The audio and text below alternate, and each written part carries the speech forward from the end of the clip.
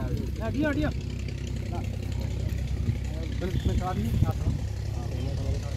बारिश का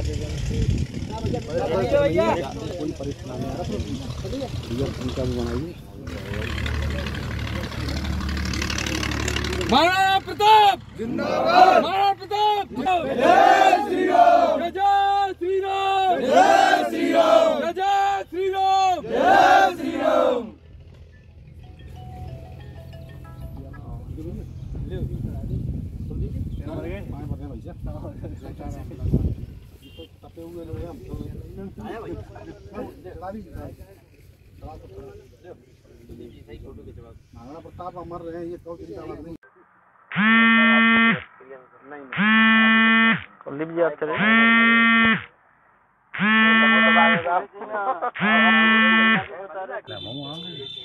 महाराणा प्रताप जी की बात करें तो उनका जो वीरता और साहस पराक्रम ने से जो हम हल्दी घाटी का युद्ध सुनते हैं तो हल्दी घाटी के युद्ध में उससे पहले खानवा का युद्ध हुआ था।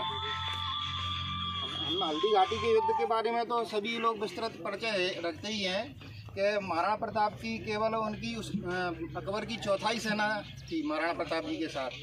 लेकिन उनका जो वीरता और साहस और हौसला था उस अकबर की जो चौगुनी सेना को उन्होंने धूल चटाई थी।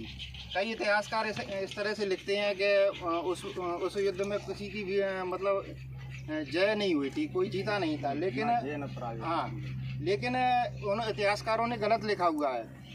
हम मानते हैं सभी के उस हल्दी घाटी के युद्ध में अपने पराक्रम से अकबर को अपने मेवाड़ क्षेत्र में प्रवेश नहीं करने दिया था। हाँ। लेकिन अपन देखते हैं कि कहीं ना कहीं जब इतिहासकार और आजकल के पाठ्यक्रम में भी यही देखने और सुनने को मिलता है कि अकबर इज़ दी ग्रेट ये किसके द्वारा लिखा हुआ है? बोले, उन मुगल काल के शासन में ही या उसके पश्चात जो अंग्रेज़ी शासन अंग्रेज़ कालों का शासन रहा, उसमें बताया गया अंग्रेज़ अकबर इज़ दी ग्रेट लेकिन अकबर ग्रेट नहीं था। महान कौन थे अपने? महाराणा प्रताप जी। तो हमें उनको इस तरह से ये नहीं कि वो एक समाज के विशेष के रूप में ही वो एक प्रतिस्थापित हैं।